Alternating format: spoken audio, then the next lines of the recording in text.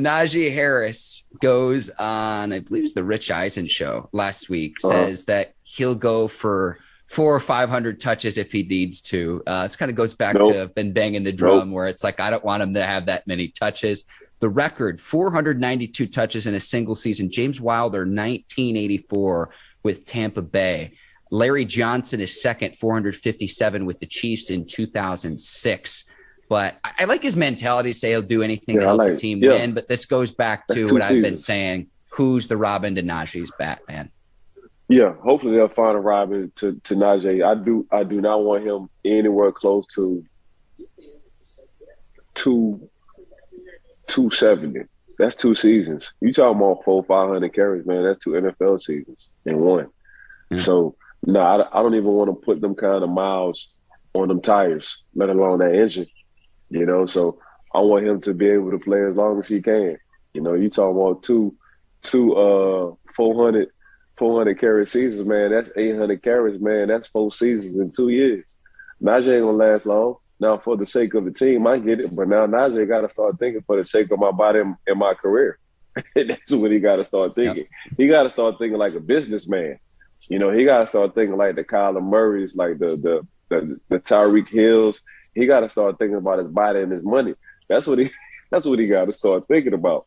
Because for the sake of the team, will give give you no money and there's no feelings when it comes down to the business side of the NFL. Uh, thank you. Have a nice life. That's exactly how the NFL thinks because they always feel like they can replace you because it's just a young man sport, put uh, football. But for Najee, I like the mindset. I like the thinking. You know, give me give me the ball, man. I'm gonna carry this team. But nah, Najee, I do not from a player's perspective to another player. Nope. Take care of your body, get the yards you can get with less carries, and play as long as you can and get as many bags as you can. But the four to five hundred piece, nope. That's that's what we're not gonna do.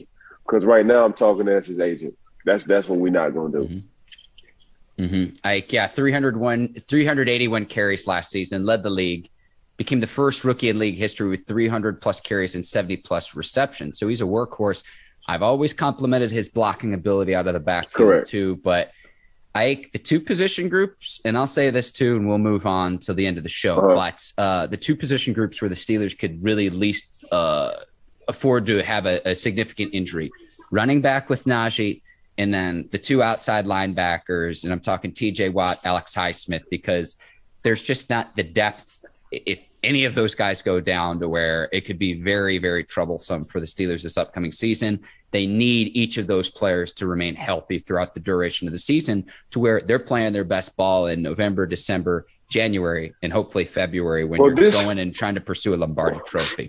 Well, this what a mobile quarterback does to your offense. It lessens your carries. Preach, I preach. Know? So, so the, the fact that they might have a Mr. Trubisky or a Kenny Pickett at the quarterback position, Najee don't have to see the ball 381 times. Najee might get 300, and that's 81 times less than what he did last year.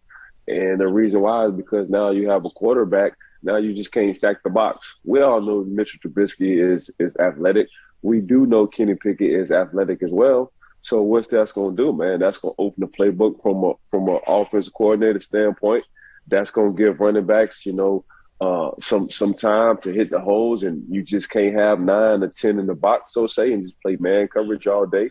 It's going to give everybody. It's going to open a little bit of everything for everybody on that side of the ball now because the quarterback is mobile.